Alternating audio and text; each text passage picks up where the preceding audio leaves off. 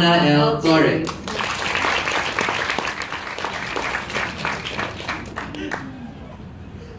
Magandang umaga po sa inyo lahat. On behalf of McDonald's Philippines Chairman and Founder Dr. George Yang and our President and CEO Mr. Kenneth Yang, gusto ko pong magpakasalamat sa inyong lahat na nandito ngayong umaga.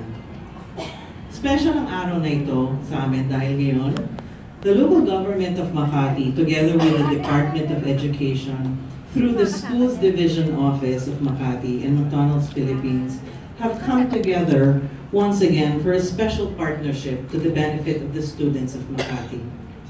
We'll be working with seven Makati schools where over 500 students will undergo training in our 23 McDonald's restaurants and in the head office with HR and finance departments. We're looking forward to the students working with us for beginning November 2019 and 2020. Let me go through some of the schools. University of Makati, where are you? Pitogo High School. Nemesio Yabut High School. Benigno Aquino High School. Makati High School. And we also have Fort Bonifacio High School and uh, Maximo Estrella High School.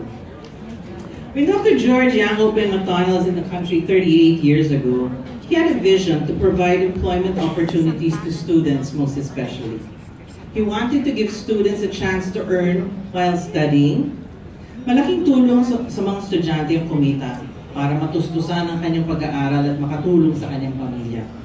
Just like me, I was a crew before. Bukod sa pagbigay ng flexible hours, mahalaga rin sa bawat empleyado ang magkaroon ng security of tenure at makatanggap ng mga benepisyo. Mula sa unang McDo hanggang ngayon, na meron kami over 640 McDonald's restaurants sa buong bansa, McDonald's has always practiced direct hiring policy. Never kami nag-hire ng mga contractuals. This is something we're really proud of at nagpapatunay ng aming commitment to provide employment opportunities to the Filipinos. To support this, McDonald's has been a partner for DepEd's Work Immersion Program, kung saan ang mga senior high school students ay dumadaan sa job exposure at training sa mga McDonald's stores at aming head office. In partnership with the senior high schools, both in private and public, we offer yung sa technical vocational track. We started the program, when we started the program, now we have over 3,000 senior high school students who have learned and gained experience in the field of food and beverage.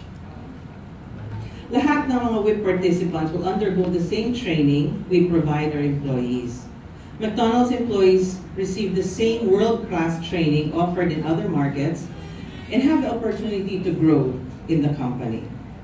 In the city of Makati, we currently have 23 McDonald's stores. And dito sa mga McDonald's stores na to, we have close to 2,000 employees, both managers and crew. 50% reside here in Makati.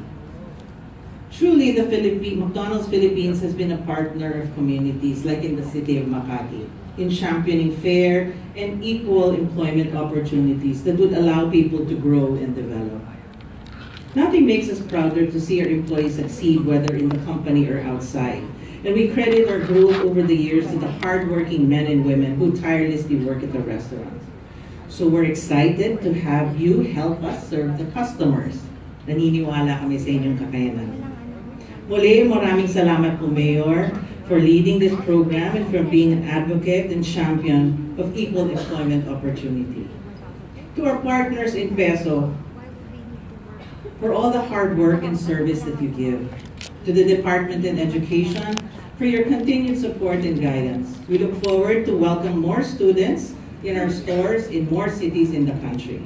To the city of Makati, we at McDonald's Philippines forward to many more partnerships in the future para sa ikaunlad ng lungsod at mga Makatizens. Mabuhay po kayo lahat.